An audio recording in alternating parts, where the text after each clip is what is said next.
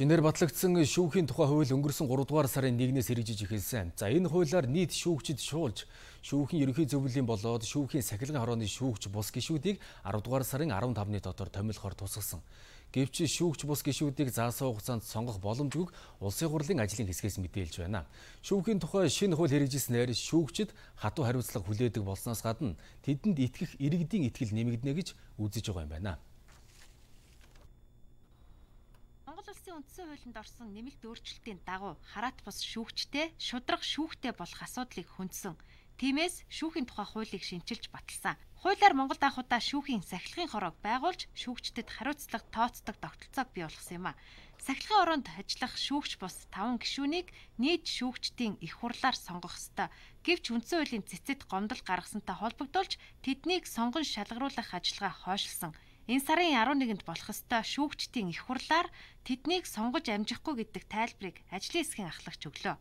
За 10 сарын 15 гэхэд бол үндсэндээ бол амжихгүй. Өөрөөр хэлэх юм бол сая үндсэн хуулийн цэцгийн дээр гарсан маргаан одоо эцэлэгдэж шийдвэрлэгдсэн үнтэй холбоотойгоор да шүүхийн ерхий зөвлөлийн гишүүн болон шүүхийн сахилгын орон гишүүдийг одоо сонгож шалгах ажиллагаа маань одоо эхэлсэн. Одоо сэргийгдээд явж байгаа. За ер нь бол ойрын хугацаанд бид одоо нэр дэвшний болгонтой ярилцлага хийн ажлын хэсгийн 11 гишүүн. За үүний дараа бид нар бас тодорхой процесс ажлууд хийгдэнэ. Үүний дараа сонгуул юу хууль зүйн байнга ороогоор оруулна. За хууль зүйн байнгоороос чуулганаар орох энэ процесс явна. Өөрөөр хэлэх юм бол одоо үндсэндээ нэг ойролцоо нэг сар орчмын хугацаа. Дараа бол үндсэндээ шүүх хэрэг зөвлөлийн шүүгч бас гишүүн 5 гишүүн. За шүүхийн сахилгын орны шүүгч бас 5 гишүүний одоо томилгоо олсон хурлаас эслэгдэж шийдэх ийм одоо уулзаатай болох байна. Шинэ хуулиар шүүгч нарыг мэдлэгтэй, ёс зүйтэй болгоход шүүхийн ерхий зөвлөл хариуцлагатай ажиллах үүрэг хүлээсэн. Шүүгч санаатаа болон санамсаргүй алдаа гаргасан тохиолдолд тэдэнд хариуцлага хүлээлгэх ажлыг шүүхийн сахилгын хороо хийнэ.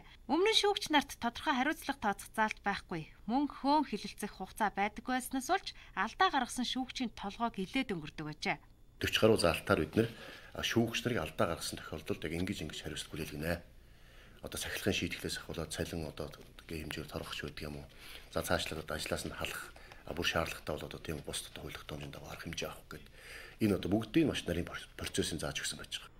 Шүүгчид өөрсдийнхөө алдааг шүүдэг байсан учраас алдаа гаргасан шүүгч асуудлын хойно үлддэг. Энэ нь шудрах шүүхийн тогтолцоонд гажууд л авчирдаг гэж салбарынх ярьдаг.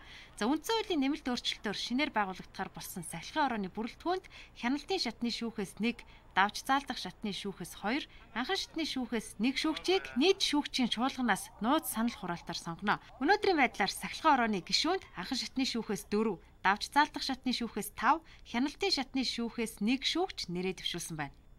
Шүүхийн ерөнхий зөвлөл. За энэ байгууллагын бүрэлдэхүүнийг 10 гишүүнтэй бүрэлдэхүүнтэй байна. За энэс 5 гишүүнийг нь бол шүүгч нар өөрсдөө дотроосоо нууц санал хураалтын үндсэн дээр сонгож бүрдүүлэх энэ ажиллагаа явагддаг.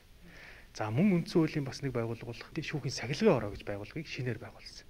Энэ байгууллагын бүрэлдэхүүнд 9 гишүүний бүрэлдэхүүнтэй. За үүнээс одоо 4 гишүүнийг бол шүүгчдийн чуулганаас сонгож бүрдүүлэх ийм хуулийн зөвлөл. Нийт шүүгчдийн их хурал эрэх даваа гарагт болно.